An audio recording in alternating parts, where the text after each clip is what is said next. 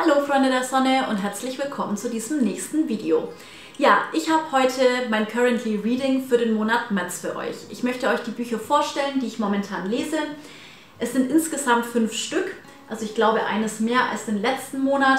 Mal gucken, ob ich alles schaffe. Ich mache mir da gar keinen Stress. Ich wollte euch die Bücher trotzdem mal zeigen, weil es bisher wirklich keines gibt, was mich nicht überzeugt. Wobei ich fairerweise sagen muss, dass ich bei zweien davon noch nicht sehr weit fortgeschritten bin. Da kann ich also noch nicht allzu viel sagen. Aber ich bin sehr gespannt, was dieser Lesemonat für mich bereithält. Wenn ich fertig bin, wird es natürlich auch ein Video dazu geben. Da werdet ihr wieder mein abschließendes Fazit dazu hören. Aber jetzt stelle ich euch erstmal direkt die Bücher vor. Wir legen direkt los. Und zwar mit einem Buch, bei dem ich tatsächlich erst zwölf Seiten fortgeschritten bin. Das ist natürlich so gut wie nichts, aber es hatte mich von der ersten Seite an. Es ist außerdem ein Buch, von dem ich nicht dachte, dass ich mir das zulegen werde, zumindest nicht in naher Zukunft. Ich habe das schon in einem Video vorgestellt und zwar in dem Video, wo es um die besten Bücher für den Monat Februar ging. Es handelt sich um The Only Story von Julian Barnes oder die einzige Geschichte auf Deutsch, glaube ich. Dieses Buch wollte ich mir eigentlich nicht kaufen, da wollte ich noch warten, wie gesagt, aber als ich in Florenz war, habe ich einen kleinen Buchladen entdeckt. Und da stand dieses Buch bei den Mängelexemplaren und es hat nur 12 statt 24 Euro gekostet. Da dachte ich, hey, ich nehme es mit. Zumal es auf Englisch ist und ich sowieso mal wieder auf Englisch lesen wollte. Problem daran ist, ich bin ultra langsam. Ich habe wirklich gemerkt, ich habe so lange nicht mehr auf Englisch gelesen, dass ich komplett raus bin. Das ist ein bisschen nervig, ich möchte es aber trotzdem durchziehen und vielleicht jetzt auch in naher Zukunft wieder mehr auf Englisch lesen, weil äh, ich finde, das geht gar nicht, dass ich das so gut wie nicht mehr kann. Also ich habe eigentlich immer gerne auf Englisch gelesen, aber wenn da so eine lange Zeit dazwischen liegt, man kommt echt ein bisschen aus der Übung. Ja, worum geht es hier? Der Klappentext gibt nicht allzu viel her und ich kann euch natürlich noch nicht allzu viel darüber sagen, weil ich eben noch nicht so weit bin. Es soll hier um die einzig wahre, wichtige Frage gehen, und zwar darum, ob es besser ist, geliebt und dabei verloren zu haben oder nie geliebt zu haben und dabei wahrscheinlich logischerweise nicht verloren zu haben, weil man so nicht verlieren kann. ja, worum geht es hier? Es geht um Paul, der in einem Tennisclub Susan kennenlernt. Soweit bin ich momentan. Ähm, zwischen den beiden herrscht von Anfang an eine gewisse Verbindung, obwohl noch gar nicht so viel passiert ist. Zumindest bis dahin, wo ich gelesen habe. Es ist bei den beiden einfach so, dass er so sein kann, wie er ist und sie kann so sein, wie sie ist. Ja, und ich denke, dass das ist eigentlich das Tollste, wenn man einen Menschen kennenlernt, wenn das gegeben ist, weil ich glaube nicht, dass es bei vielen Leuten hier draußen der Fall ist. Ähm, man hat immer ganz bestimmte Personen, bei denen das möglich ist, aber allzu viele sind das aus meiner Erfahrung zumindest nicht. Deswegen fand ich das schon sehr schön beschrieben. Und ja, Paul erzählt hier aus der Ich-Perspektive. Ähm, er geht 50 Jahre zurück. Damals war er, glaube ich, 19 Jahre alt, also auf jeden Fall sehr jung. Das genaue Alter kann ich jetzt gar nicht genau sagen. Und er sagt eben, hier geht es einfach nur um die Beziehung, um die Verbindung, die zwischen zwei Menschen herrscht es geht nicht um die Umgebung, es geht nicht um das Wetter, es geht nicht um die genaue Zeit, es geht einfach nur um diese zwei Menschen, der Rest ist egal. Und das ist halt auch der Fokus dieser Geschichte. Ein so toller Schreibstil, der einen wirklich direkt trifft und ins Herz geht. Ja, deswegen freue ich mich wirklich unheimlich darauf. Ich muss mich ein bisschen dran gewöhnen, an das Englische wieder, aber ich hoffe, ich komme jetzt auch ganz gut rein und bin dann vielleicht auch einen Ticken schneller Ansonsten brauche ich halt auch länger, das ist auch nicht schlimm. Aber mein erster Eindruck von diesem Buch ist bisher sehr gut. Ja, dann geht es weiter mit einem Buch, da bin ich schon etwas weiter, bisschen mehr als die Hälfte habe ich gelesen. Das war übrigens ein Tipp von einer Zuschauerin von mir, da möchte ich mich auch bedanken. Leider weiß ich deinen Namen gerade nicht. Ähm, aber vielleicht fühlst du dich ja angesprochen. Und zwar ist das von Nora Roberts, Das Haus der Donner. Ja, von Nora Roberts habe ich bisher noch nichts gelesen. Äh, ich habe es zugegebenermaßen auch immer mehr so in die Kitsch-Roman-Abteilung gestellt. Ich möchte jetzt auch nichts Falsches sagen, aber das war der Grund, warum ich bisher nicht dazu gegriffen habe. Und ich habe in irgendeinem meiner Videos gefragt, ob jemand eine Lektüre kennt, die in Florenz spielt. Ich war ja eben erst vor kurzem in Florenz und ich wollte in der Zeit einfach ein Buch lesen, was dort spielt und was mich auch hinterher an diesen Ort ja, zurückversetzt. Und das schafft dieses Buch auf jeden Fall. Also die Atmosphäre ist sehr gut getroffen. Ich fühle mich zurück nach Florenz versetzt. Ähm, es ist wirklich sehr schön beschrieben. Es ist ja eine Mischung aus Krimi und Liebesgeschichte, würde ich sagen. Sehr spannend. Also ich bin auch gespannt, wie die Auflösung hier ist. Äh, hier geht es um Miranda. Sie ist eine Kunstexpertin. Sie prüft Statuen, Figuren auf Echtheit und ermittelt ihren Wert. Sie wohnt in Maine zusammen mit ihrem Bruder Andrew, der mit seinem Leben eher nicht so gut zurechtkommt. Und ja, sie wohnen gemeinsam in einem Haus, das sie von ihrer Großmutter geerbt haben. Und ja, dort arbeitet sie auch an einem speziellen Institut, was sich eben auch mit dieser Thematik, die ich gerade beschrieben habe, beschäftigt. Eines Tages wird sie auf dem Nachhauseweg, beziehungsweise kurz bevor sie ihre Wohnung betritt oder ihr Haus betritt, überfallen. Sie kann den Täter nicht identifizieren, weil er auch maskiert ist. Und er stiehlt ihr ihre Handtasche, sonst bleibt sie aber überwiegend unversehrt, ähm, bis auf ein paar Prellungen.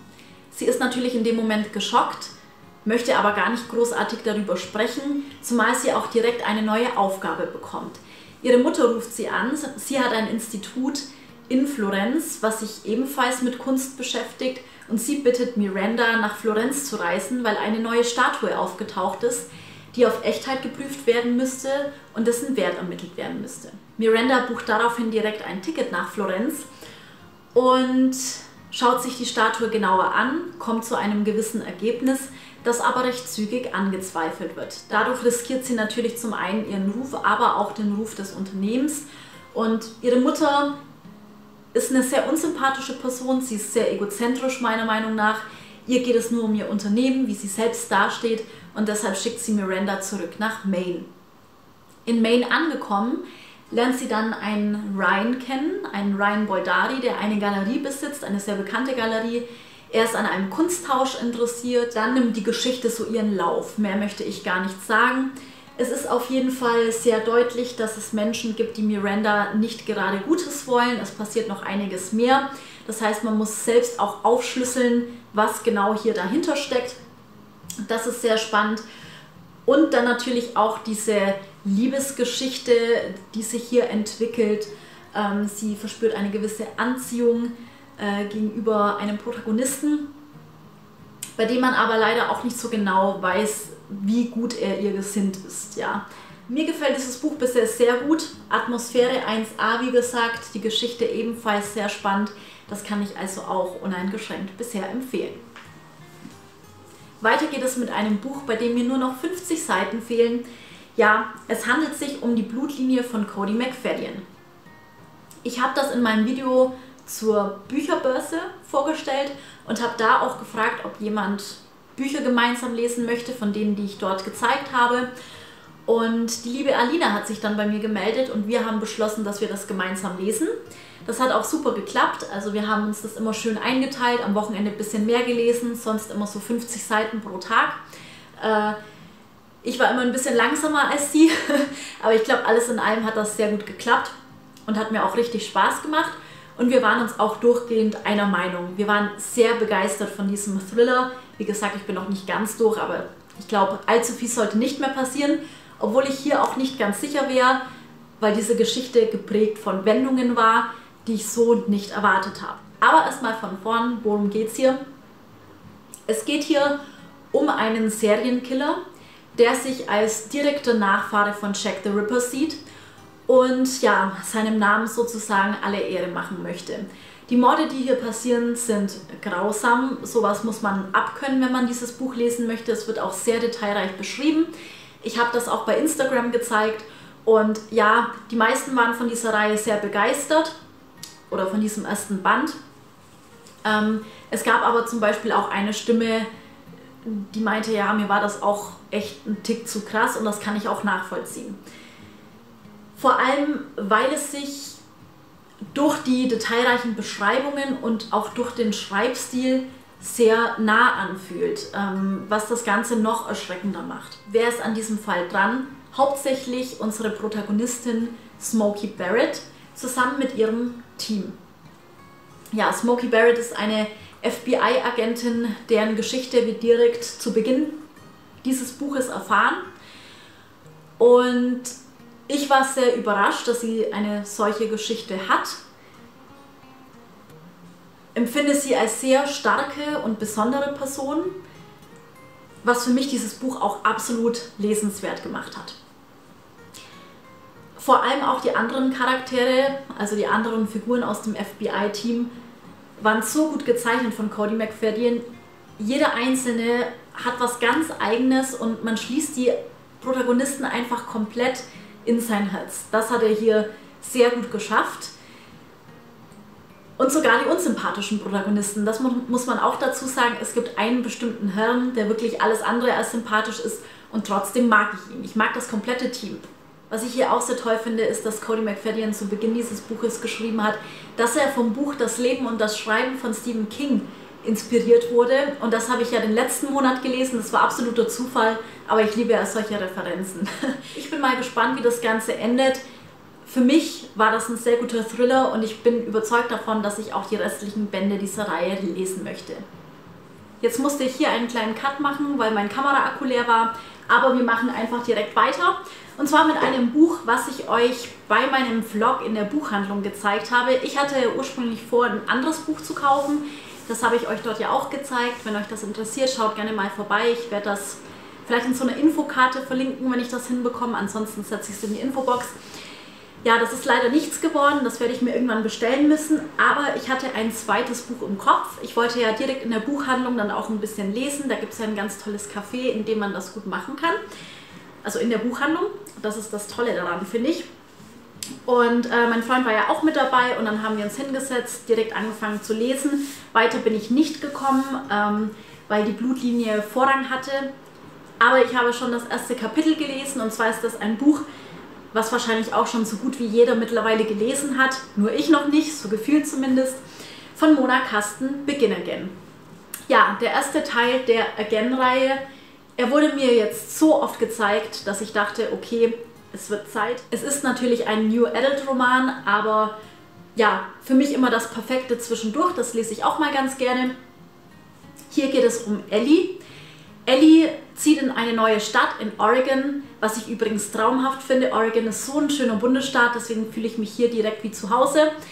Und die Uni beginnt bald. Sie beginnt ein neues Leben in Freiheit sozusagen. Als sie nämlich noch zu Hause gewohnt hat, wurde sie von ihrer Mutter immer bevormundet.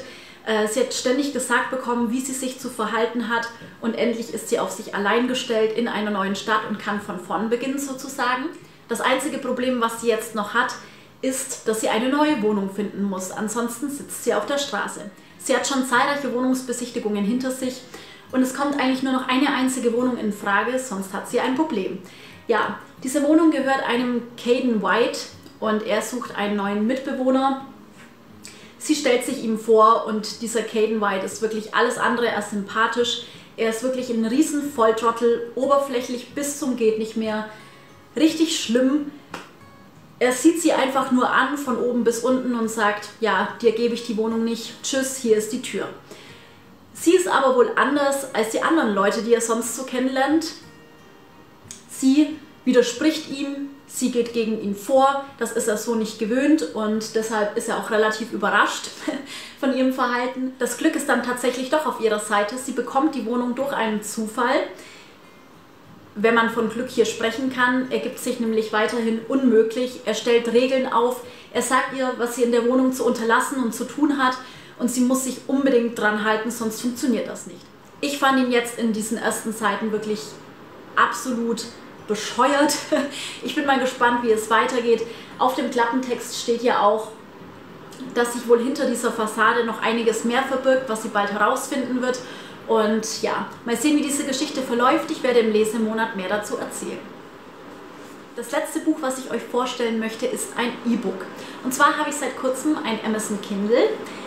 Was ich nie gedacht hätte, weil ich mich immer dagegen ausgesprochen habe. Ich werde da aber bald ein Video dazu drehen, da werde ich das Kindle zum einen genauer vorstellen und ich werde auch darüber sprechen, was mich dazu motiviert hat, doch eins zu holen und ja, was für mich so die Vor- und Nachteile sind. Da wird es ein ausführliches Video geben, weil ich bei Instagram gemerkt habe, dass die Nachfrage da doch recht groß ist, weil einige von euch auch noch so am Überlegen sind. Und ja, da dachte ich, das könnte ein paar von euch interessieren. Es hat sich ganz gut angeboten, dass ich dieses Kindle dann hatte. Also es war auch eher so Zufall. Und zwar bin ich auf eine junge Autorin aufmerksam geworden. Ihr Name ist Nay Skitscher. Ich werde das hier auch irgendwo, ähm, ja, vielleicht in die untere Ecke schreiben oder sonst in die Infobox. Und sie hat angeboten, dass sie ein paar Leuten kostenlose E-Books zur Verfügung stellt, damit die Leute das auch rezensieren. Und ich habe mir dann durchgelesen, worum es in den beiden Büchern geht, die sie vorgestellt hat. Und eines davon hat mich besonders angesprochen. Und zwar ist das Als das Leben mich aufgab. Übrigens ein wunderschönes Cover. Ich hoffe, ihr könnt es hier jetzt sehr gut sehen. Wirklich traumhaft. Hier geht es um Mai. So nennt sie sich selbst. Sie weiß nämlich gar nicht genau, wie sie heißt. Das Besondere daran ist, dass Mai bereits tot ist. Zu Beginn des Buches befinden wir uns sozusagen im Himmel. Sie spricht mit einem Engel und der Engel sagt ihr, du hast deine Aufgabe auf der Welt noch nicht vollends erledigt. Dich bedrückt etwas, du kannst mit dem Leben noch nicht abschließen. Früher hast du bestimmte Briefe an deine Angehörigen, an deine Freunde geschrieben, wenn dich etwas bedrückt hat. Du musst nochmal zurück auf die Welt und diese Briefe verteilen. Das finde ich von der Story schon mal toll sehr einfallsreich, sehr fantasievoll. Ja? Ich wusste nicht genau, was mich erwartet, aber ähm, Mai kommt dann zurück auf die Erde, erkennt einige Personen wieder und was ich jetzt schon sagen kann, man kann es ja beim Kindle sehen, ich bin ungefähr bei 20% des Buches, es berührt mich so unfassbar. Ich saß heute auf meinem Sofa und habe den ersten Brief gelesen, den sie verteilt hat man muss dazu sagen, dieses Buch ist so gegliedert, dass es ganz viele Lektionen gibt. Zu Beginn jeder Lektion steht auch ein kleiner Spruch, eine kleine Lebensweisheit, würde ich sagen, die mir jedes Mal sehr gut gefallen hat, bei der ich auch finde, dass jeder etwas für sich mitnehmen kann.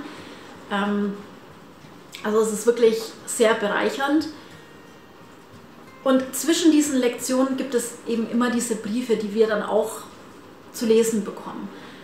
Und dieser erste Brief hat mich so aus der Bahn geworfen. Ich saß auf dem Sofa und habe einfach nur angefangen zu heulen. Das habe ich nicht oft. Das habe ich wirklich nicht oft.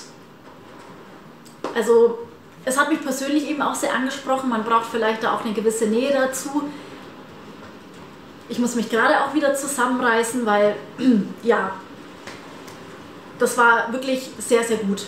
Dieses Buch schafft es meiner Meinung nach, eine gewisse Tragik was die Thematik an sich ja mit sich bringt, mit etwas sehr Schönem zu verbinden. Ich finde diese Vorstellung, dass man den Hinterbliebenen noch letzte Worte mitteilen kann, einfach sehr schön. Die Idee ist super. Mir gefällt dieses Buch bis jetzt unfassbar gut und ich habe mir vorgenommen, dass ich auch mehr Bücher von unbekannteren Autoren lese, von Autoren, die vielleicht noch nicht so viel Aufmerksamkeit haben, weil es gibt so viele gute da draußen, wie für mich dieses Buch auch bis jetzt auf jeden Fall beweist. Es lohnt sich wirklich auch auf diese Autoren einen genaueren Blick zu werfen. Ich kann es bis jetzt sehr empfehlen und ich bin so gespannt, hier weiterzulesen. Ich glaube, ich werde da noch die eine oder andere Träne verdrücken, da muss ich dann einfach durch. Ich möchte wissen, wie es weitergeht und äh, möchte hier auch ganz klar mein großes Lob aussprechen. Sie ist eine ganz junge Autorin, die wirklich viel Aufmerksamkeit verdient hat was ich jetzt hier von den ersten Seiten sagen kann. Guckt da mal vorbei, schaut mal, ob euch ein Buch von ihr interessiert. Ja, es gibt so viele tolle Autoren da draußen, man muss wirklich mal darauf hinweisen. Ähm, ich werde euch im Lesemonat natürlich genaueres zu den Büchern erzählen, vor allem zu den Büchern, bei denen ich jetzt noch nicht allzu weit fortgeschritten bin. Da wird es dann auch noch mehr zu erzählen geben. Und mich würde wie immer interessieren, ob ihr schon etwas davon gelesen habt womöglich schon, weil ja auch recht bekannte Werke da dabei sind. Wir sehen uns beim nächsten Mal. Bis dahin, macht's gut. Tschüss!